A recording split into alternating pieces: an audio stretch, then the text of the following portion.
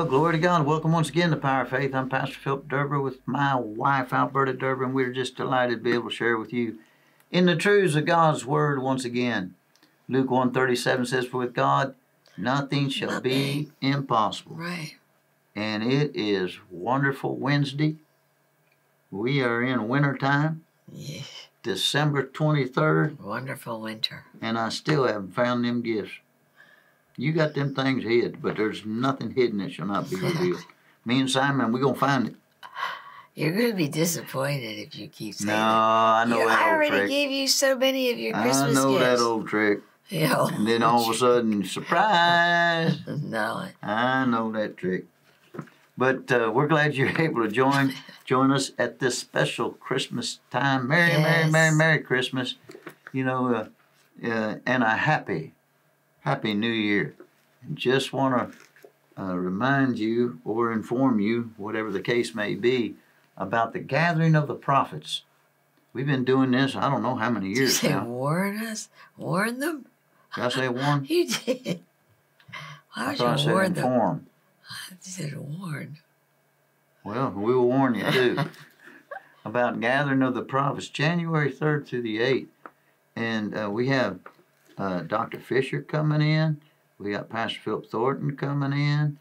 We have uh, Pastor Jonathan. Anderson coming in. Pastor Danny Akers coming in. Apostle Terry Matthews coming in. Uh, that's who we know of that are all going to be ministering, and uh, it's just going to be a time when you give, uh, we're giving God the first fruits of the year. Yeah. We're giving Him that week, and we've done that. And God always shows up. The RVN band will be ministering in praise and worship every night. Uh, turn, uh, of course, uh, Brother Terry Matthews loose, and uh, Jay Air will be there, and RVN band get cranked up and whatever. You know, we just go with the flow of the Holy Ghost and and just uh, just be a powerful time. Yeah. And if uh, you want to join us, get in those meetings. Uh, they're seven o'clock each night. Other than Sunday morning, we'll kick off at ten thirty on the third, and then at seven o'clock each night, Monday through Friday, and then Tuesday through Friday at ten thirty in the Yeah. morning. Uh, we're having morning sessions. There's not, uh, there won't be any praise and worship or whatever, but. Uh, and as far as I know right now, I'm going to be speaking in them. That's subject to change. And so uh, we're just going to dive into 2021. God spoke to me and said it's the year of judgment. Good for the believer, severe for the wicked. The gavel of And this heaven. is still 2020 oh, yeah. vision manifestation. And you carry that right into 2021, just like the year of visitation, the year of, of, of things being revealed, on and on and on. You carry that. You you you don't. It's just like uh, you got a birthday coming up. Well, you don't you don't get rid of all the other birthdays that you had. That's what makes the birthday you're you're about to experience. I'll, I'll be turning. Old things are passed away. I'll be turning. I'll be turning sixty three uh, next year. The way the way I turn sixty three is I account for all the years previous. It's not I turn one next year. Right. And a lot of people with the prophetic, they they they let go of a word that was given and released, and they don't carry it and add it to their spiritual prophetic portfolio, and carry it forward into uh, the the next year.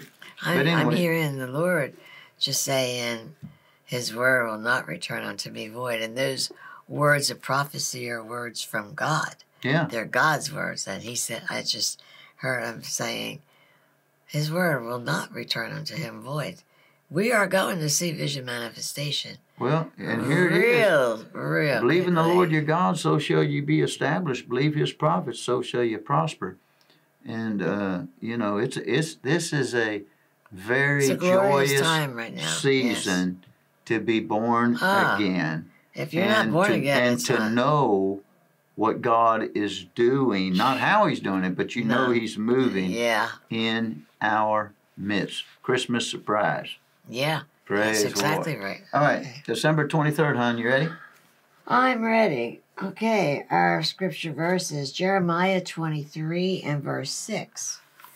This is his name whereby he shall be called the Lord our righteousness.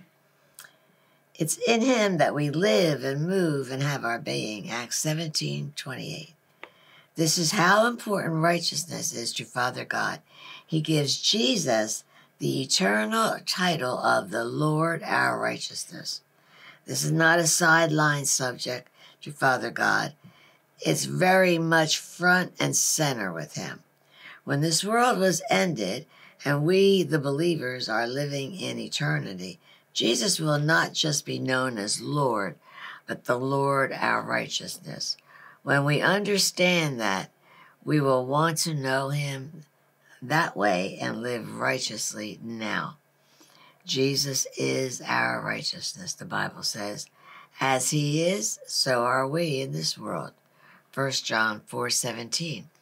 We are as righteous as Jesus. Whoa. That you know, that that kind of knocks the wind out of a lot of Well, Christians. that's what I the know. next paragraph says. Oh. Please don't run from that truth. Run to it. I know it can be hard to swallow, but don't choke on it. Cut it up into smaller pieces that you can handle and then swallow one at a time. Look into the scriptures concerning righteousness and take a piece here and a piece there. Eventually, you will have a big portion of righteousness understanding down inside of you by which to live. So awake to righteousness and to the Lord our righteousness. You know, as as we're reading this, I'm Lord thinking about little Simon when when we sit down to eat. Here he comes, and you know, He could just have a big old, eat all his food, a big old dish, and, and he whines and barks. what and Mama cries. Alberta does. Let's say we're eating turkey or chicken or pizza, no matter what it is. He Exactly. wants what we have up there. Well, he's a little fella. He's ten pound Yorkie, and he's in the sixteenth year of existence, and so uh, you know you just can't give that little thing anything, right? So Mama Alberta has these uh, little scissors, and she takes and she cuts. Let's say turkey. She cuts that little turkey up about the size of, of rice. Now watch it. Why is she doing that? Because his capacity. If you just threw he him, don't chew, he swallows. if you threw him just a big chunk of turkey, yeah, he don't know. he, Right couldn't, he couldn't handle that, even though he would try, and it would do him more harm than good. And that's what I'm saying in this devotional about righteousness, where it says, "As He is in this world, so Yeah. are we." Right. You can choke on that because we know Jesus was sinless. We know that He's righteous. We know that He's uh, uh, pure, precious Savior, Redeemer of the world. But yet, Jesus made Him to be sin right. that knew no sin, Yes. that you and I could be made the righteousness of God. of God Of God. in Him Right. in Christ Jesus. That's why he's known as the Lord our righteousness. righteousness. My righteousness comes from Jesus. Nothing we do. He did it for me. That's right. He became sin for me. He became a curse for me. He became sickness for me. He became poverty for me. He became everything of the curse Oh for me, including including a dead from God spirit. Now let me explain that. The Bible says in Ephesians chapter 2 that you and I were dead in sins and trespasses. Trespasses and right? sins, yeah. So uh, a, a person that is dead can't sin. I mean, if you're if you're in a funeral if you're in a funeral parlor and some I a like lady's purse got stolen, the last person is going to be charged as the person laying in the coffin. They don't go ask him. He- yeah, he, he dead. They don't pull him out of there. But yet we were dead. When it says dead, it was talking about you were spiritually separated from God. from Father God. He is a spirit. And those that worship him, or those that are connected to him, those that are joined to him, must worship him in spirit and in truth. Well, when you're a sinner, you're not in truth. So your spirit is dead to God. Dead to it's God. alive. It's alive, but they, It'll spend eternity in hell if you don't embrace the truth right. right? And so what happens when uh, you know a 14 year drug addict drunk on 16 July 1988 when I cried out to God, then all the sin that had separated me from God, my dead spirit, it was dead to the things of God. It didn't know. It didn't know God. No. It, it, I didn't acknowledge God. I damned him. Yeah, you did. Sure. And all of a sudden, life came into my spirit that was already alive eternally, but it was damned to hell. yeah, Jesus. All of a sudden, the God kind of life came into my dead spirit as far as dead to God is Mm-hmm. concerned, but alive to eternity in hell. Jesus. And all of a sudden, I was born again, Yeah. and now I'm no longer dead to God. I'm alive to God, and I want you, to- and I'm dead to hell. Thank you, Lord. Now I got to live in that. How do I do that? By understanding new creation realities. If 2 Corinthians 5:17, if any man be in Christ, he is a new creation. Old things are passed away. What happens when somebody passes away? They're dead. They're dead. Oh, the old man is dead. Behold, all things are become new. What happens when things become new? They're alive.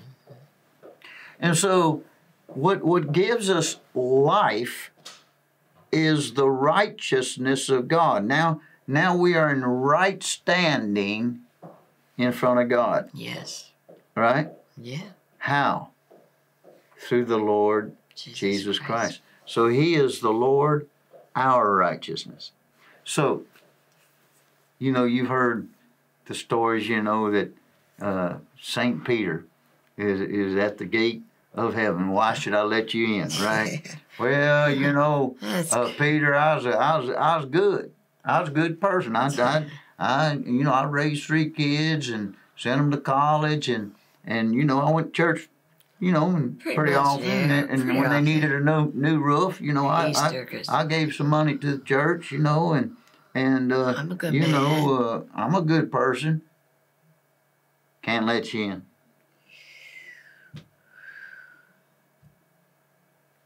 Next person shows up and says, uh, Peter says, Well, why should I let you in? Well, you know, uh, why wouldn't you? yeah. I mean, I Uh, thought I thought when you die, everybody goes to heaven. That's what everybody says.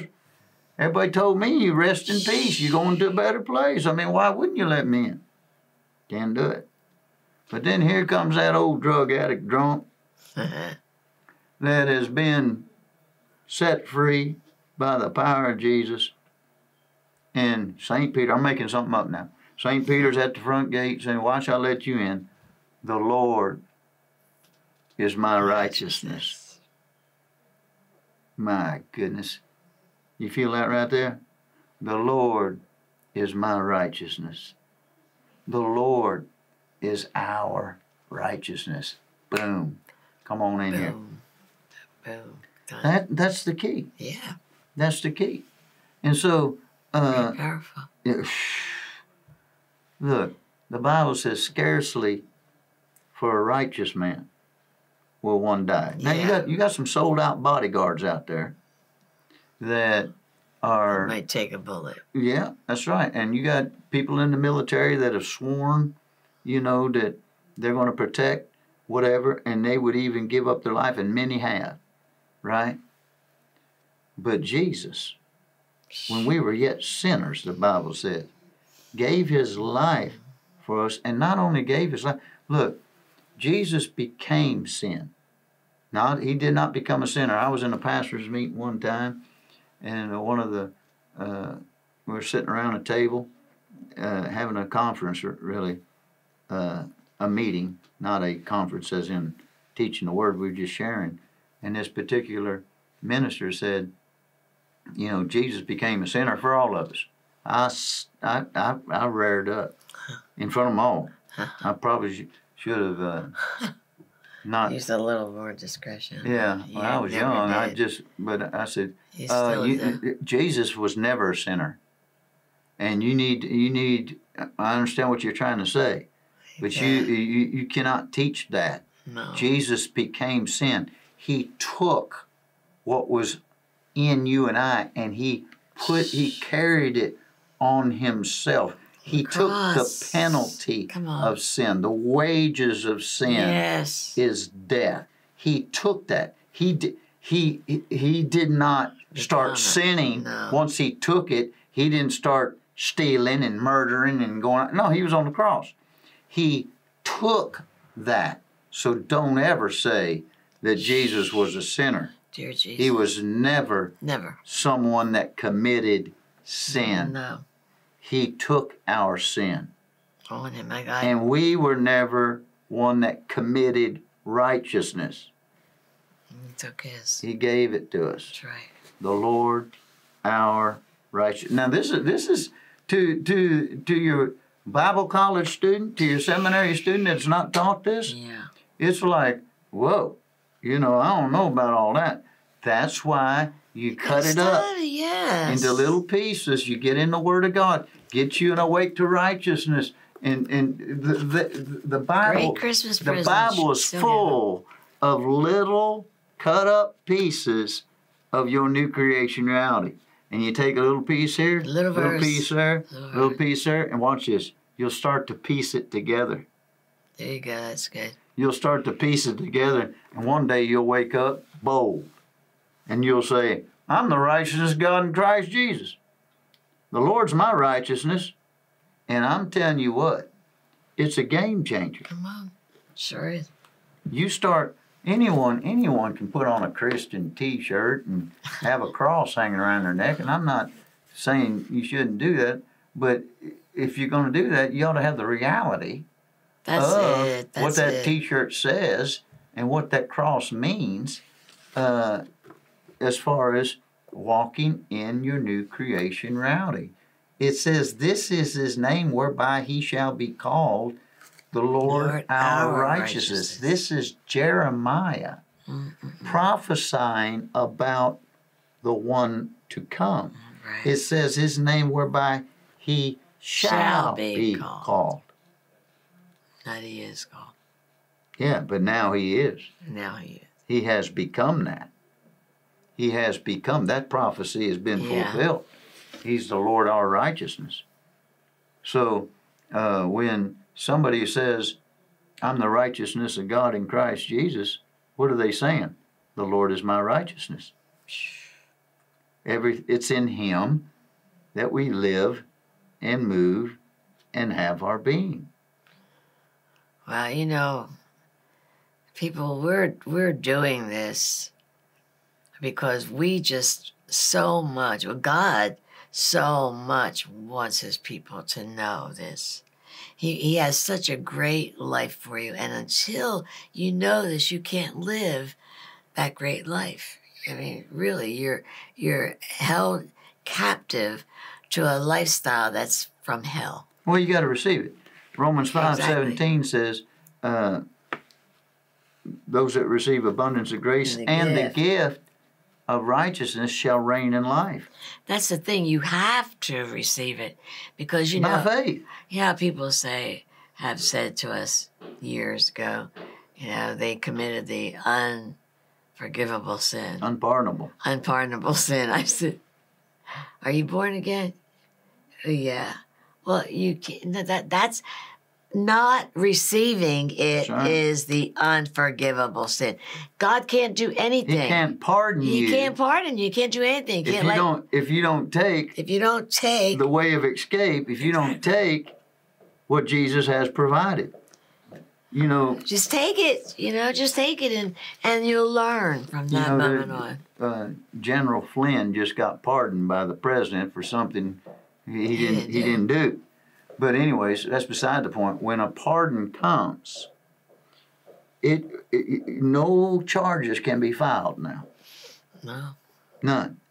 And so the unpardonable, which you brought up, uh-huh. is you and I.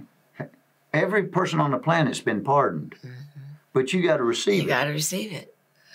Otherwise, baby, and that you're is going the down unpardonable instead of sin. right.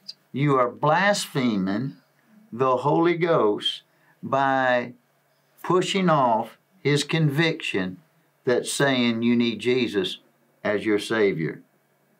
And you, you, you push that off, you push that off, you push that off. That is the unpardonable. You know, uh, uh, a lot of times we'll ask somebody, you know, would you like to receive Jesus as your Lord and Savior? And they'll say, no, I'm good. I'm good. No, you're not good.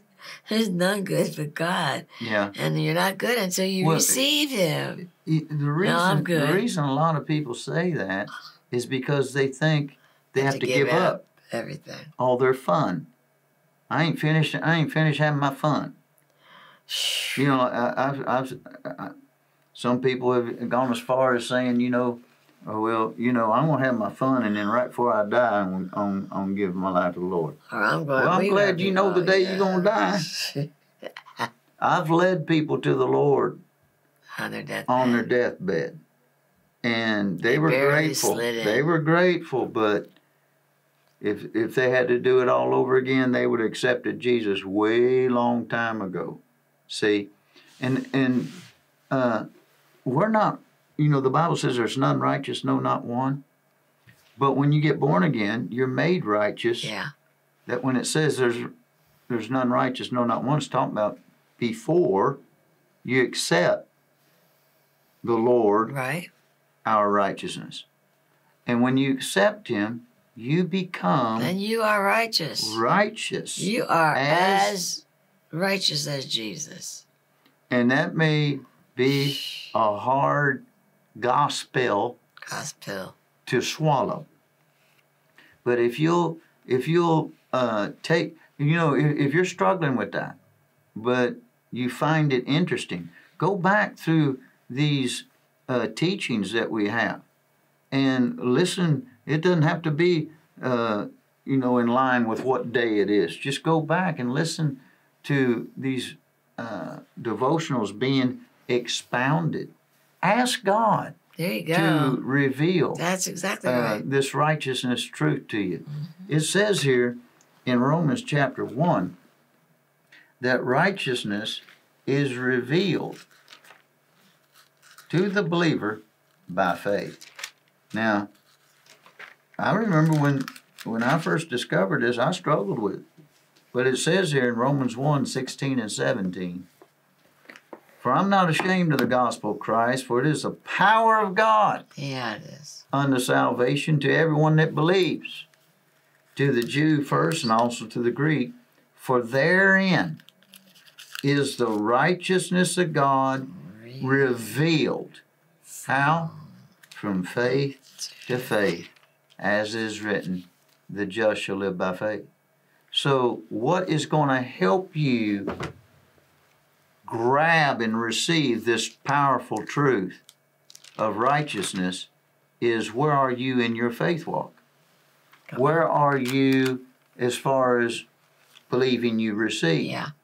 And so this is a righteousness which is a faith. Romans chapter 10 lets us know that. That uh, if you don't if you're not being taught the law of faith, if you're not being taught how to actually use your faith, speak faith, put action to your faith, Yeah. to hear faith, to feed your faith, then righteousness will always be a distant want to instead of a, a reality.